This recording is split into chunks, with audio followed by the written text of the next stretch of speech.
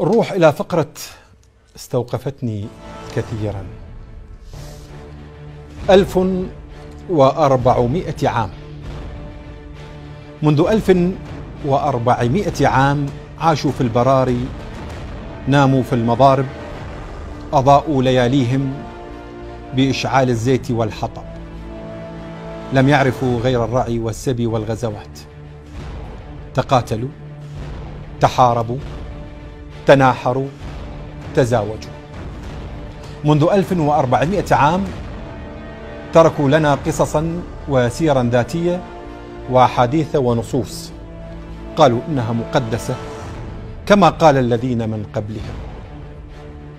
وبعد 1400 عام يتوجب علينا أن نفكر كما كانوا يفكرون أن نلبس كما كانوا يلبسون أن نعيش كما كانوا يعيشون.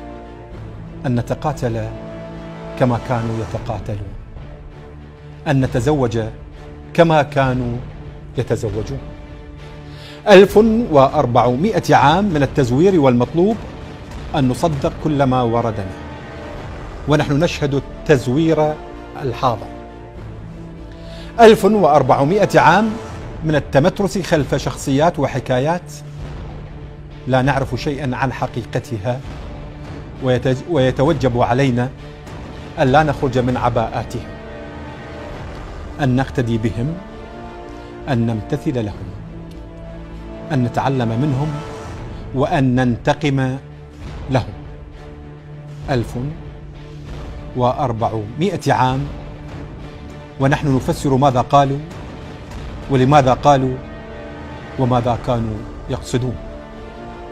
ألف وأربعمائة عام من الصلوات والدعاء على اليهود والنصارى لتشتيت شملهم ولم يتبقى لنا شمل لتدمير أوطانهم ولم يتبقى لنا أوطان لسبي نسائهم ولم تسبى إلا نساء المسلمين ألف وأربعمائة عام من صلوات الاستسقاء والأمطار تغمر العالم إلا بلاد المسلمين ألف وأربعمائة عام من الزكاة وعدد الجياع والمحرومين يزداد كل يوم في بلاد المسلمين.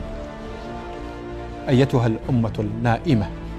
إن من تصلون وتدعون عليهم وصلوا إلى الفضاء وناموا على سطح القمر وشطروا الذرة وجزأوا الثانية واخترعوا الثورة الرقمية.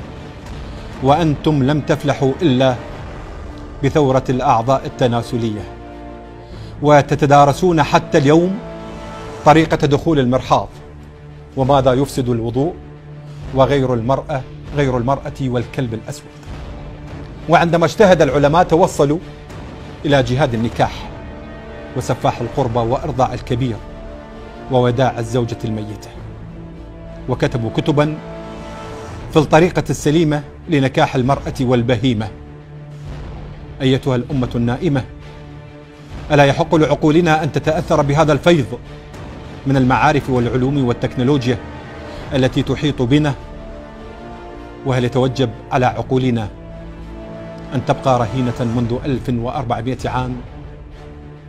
فعندما نضع الحصان لفلاحة الأرض والحمار للسباق فلن نجني خيرا ولن نكسب الرهان.